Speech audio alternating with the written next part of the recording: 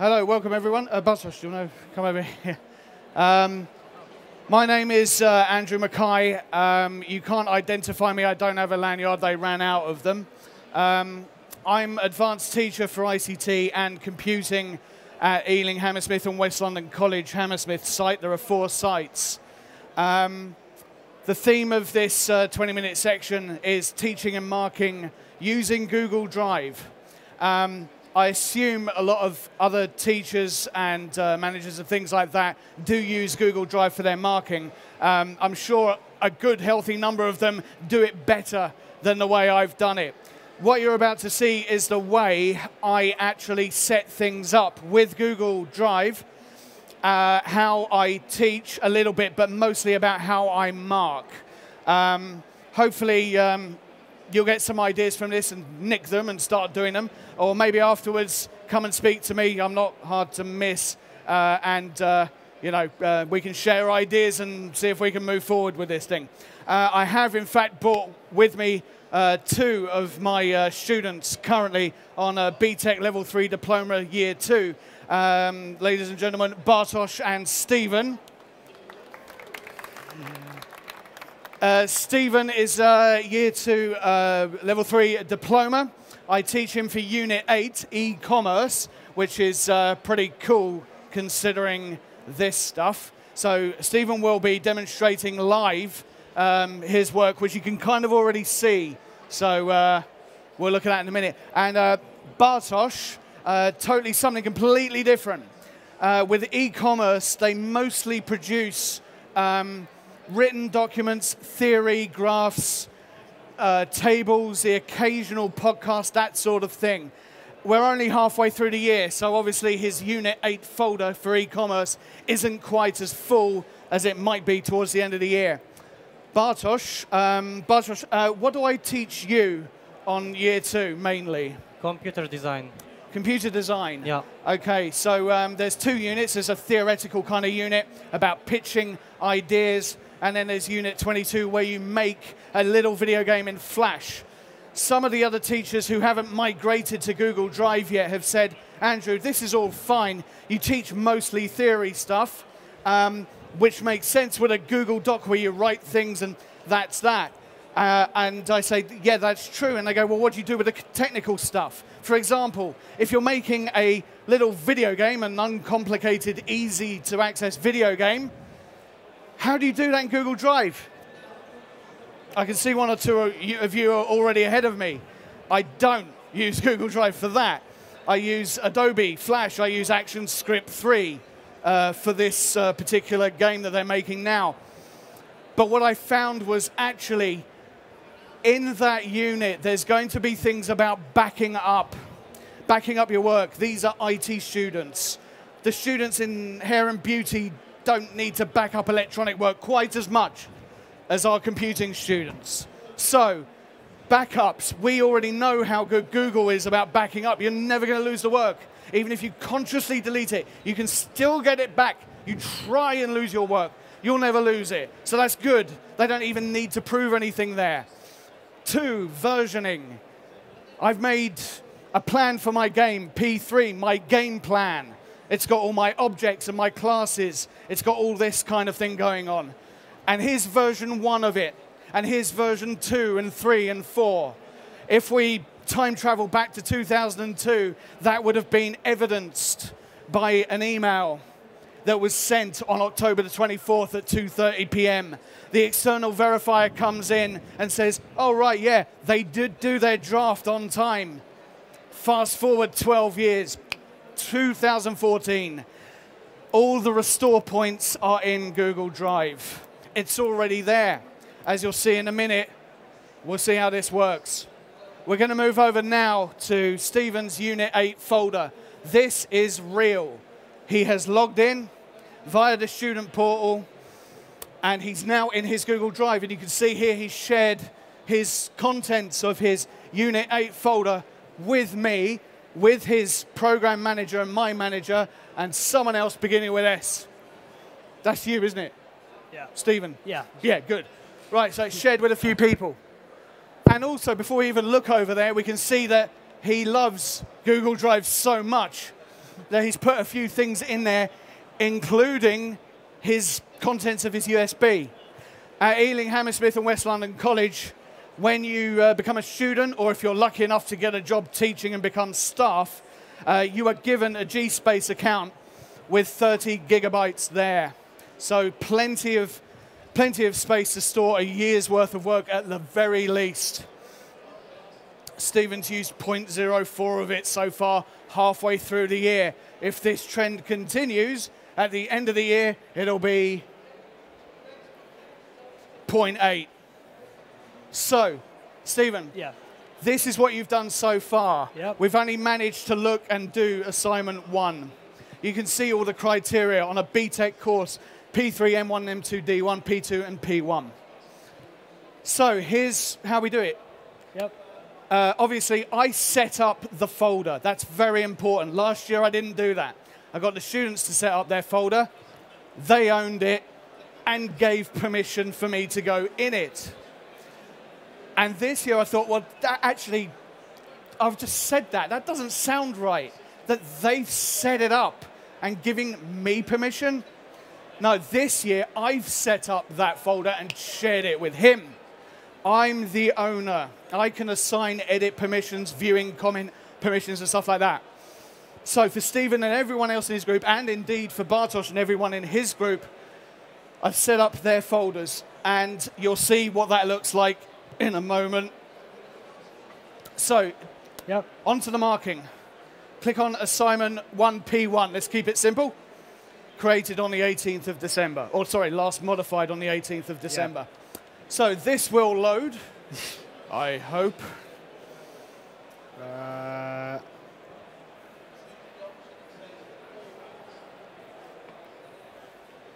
while this is loading, while this Yep. is loading, oh, sorry.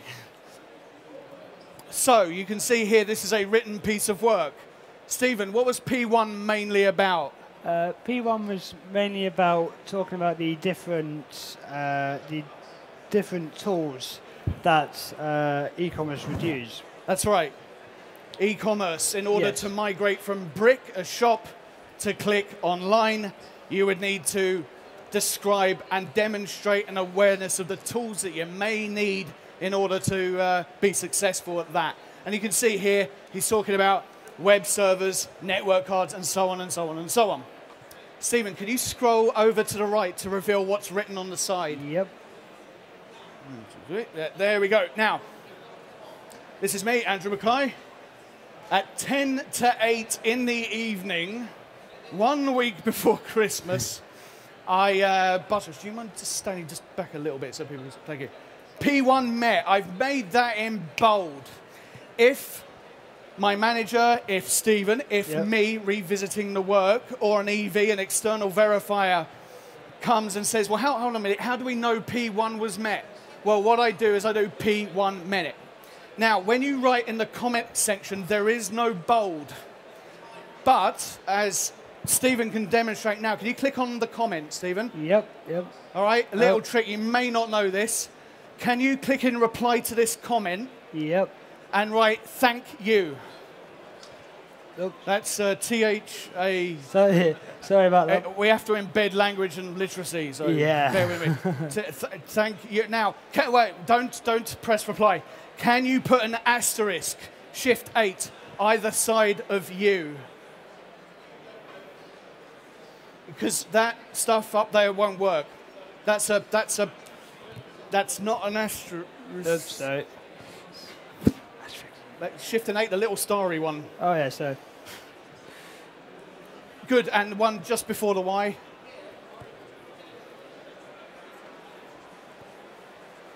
Okay, press reply. Doing the asterisk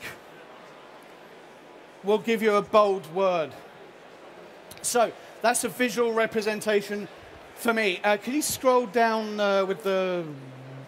Yeah, thank you. Uh, scroll down. You should see more comments appear. uh, Right, there aren't any. Um, we'll scroll back up. I think I know what's happened here. okay, now, Stephen, yes. uh, can you click on all changes saved in Drive for me? Thank you very much, sir. Pizza Hut keeps sending me texts, by the way. Okay, good. Uh, ah, right, now, um, this is all the revisions Stephen has made for this particular piece of work. So if we scroll down, just scroll down on that little uh, tab. Well, uh, there we go, and more. Right, so 11th of October, he started his work. Uh, 15th of October, a couple of times he went in there to do who knows what. Uh, scroll up about halfway. Yeah, about there, fine. Right, um, okay. Uh, about four, can you just click on 14th of November? okay, now if we scroll down the work, some of that text will be in color. That will tell us what has been added since that date currently. So if we scroll down, mm, not a hell of a lot. All right, back up. Okay, so you added that to that revision since there. there. So there you go. There's all your, what's the word? There's all your revisions. There's all your versions, version one, two, three, four, five, six, seven, eight, like that. Like that. We could click on one of them, any one you like. You've already done it. Yeah. Okay, and restore the revision. That will turn it back to the way it was on the 14th of November. Um, I can imagine some of you might go, oh, that's a good idea, bang, and then deeply regret it.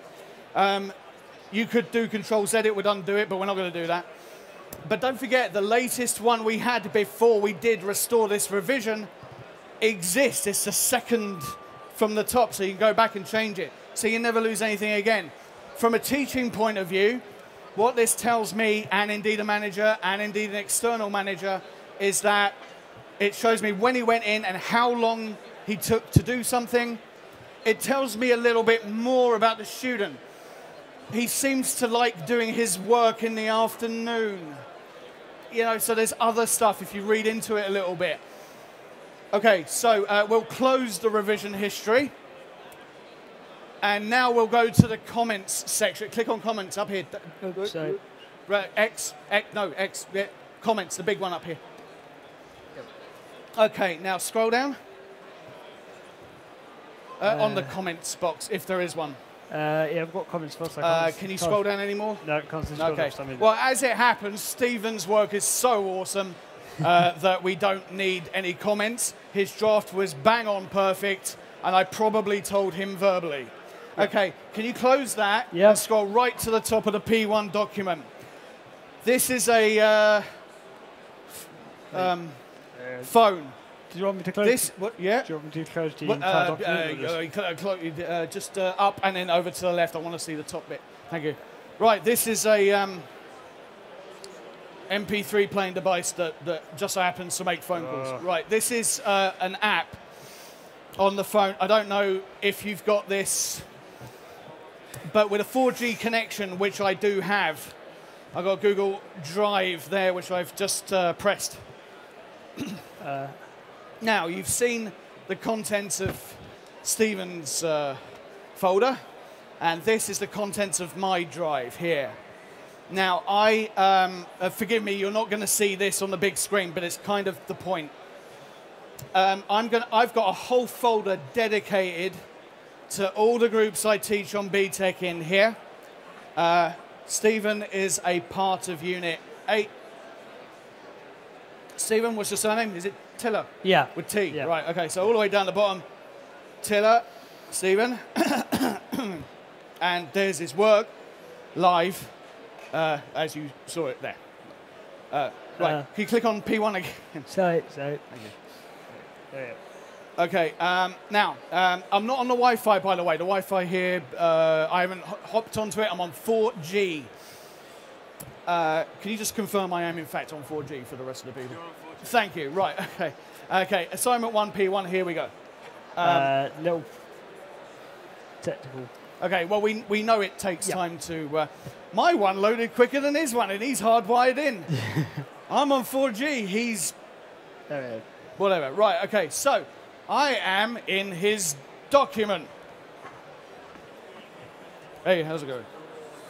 going to school and using something else and then going home and going back to school. Like, we really want it to be part of like one person's uh, entire day.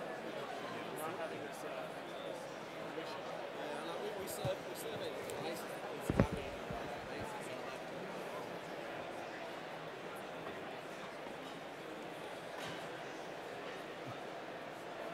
I'll just wait for that to uh, update.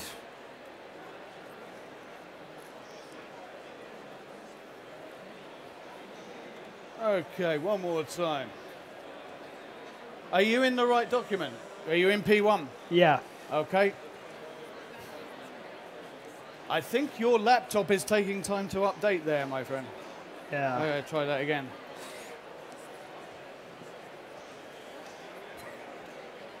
Yep. Uh, there we go. There right. we go. Okay, uh, Stephen, come and stand with me here in case people think there's people mucking around here. Okay, so I'm scrolling down. Now let's say I go to that beginning bit, Unit 8 e-commerce. Let's say, for example, it had been incorrectly named. It wasn't e-commerce. So we go, uh,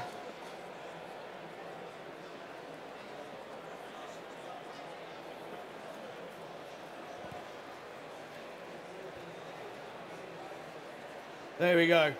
The point of this, in the uh, closing part of my speech, is that my um, materials, my scheme of work, is in fact linked Yes. here as well. Um, I have access uh, to their work at all times, obviously in conformity to the Data Protection Act. Uh, we have to uh, password protect stuff as well in case the phone goes missing. However, um, the main reason, one of the main reasons I do this is so that if I'm on the bus or the train on the way to work, 7.30 in the morning, whatever, I can quickly go into someone's work and see if they did what I asked them to do last night. Sometimes what I do is if someone comes in late or turns in work late, I will say to them, right, I'll meet you in your P1 document tonight at 9 p.m. And it does happen. Yeah. Occasionally, I'm at a loose end. I'll go in at 10 p.m. one random night and I'll sit back and watch a student produce work. But one of the main things uh, that's pretty good about having it on the phone is if I'm walking down the corridor and a student walks past who I haven't seen for a while or whose work I suspect is incomplete, and I say, uh, ah, Bartosz, have you done your work? And of course, as a student, Bartosz will say Yeah. yes. And I'll go, are you sure? And he'll say, Yeah. And then hopefully I'll go away. But instead of going away, I go on here, I go in this folder, and I can see he hasn't done it. Uh, or has done it sometimes, in some cases. So I can quickly use my phone and just update it. Say I- again? I, can quickly use my phone and update it if I didn't do my work. So Yeah, I exactly. can cheat on you. Yeah, yeah. If you see me down the corridor, you Yeah. really go in there and then update the work. And well, Yeah, if you okay, can do so it that yeah. fast, then you know you shouldn't be in college. You should be making money speed writing or something. So um, anyway, broadly speaking, that's our time up. Um, that's what I do. I don't know if it's what you do. I, maybe you can take some ideas there, but it definitely is worth getting that 4G connection. It's definitely worth setting up the folders, and it's definitely worth it. it. There's so many reasons to do it, and I can't think of one reason not to. And that's it. Thank you very much for your time. Thank you.